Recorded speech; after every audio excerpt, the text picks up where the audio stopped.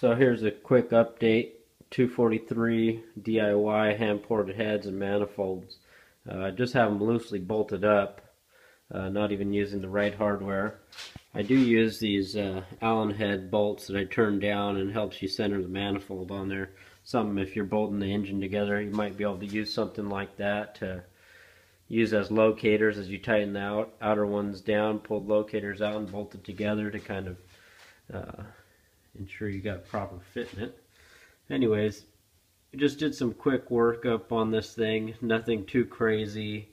Just went and cleaned up the runners, removed some of the casting flash, just kind of tried to improve it a little bit.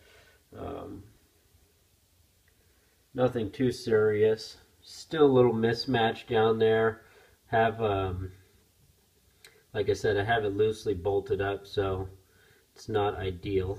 But uh, you can see all the way down to the back of the port there through the manifold, through the runner.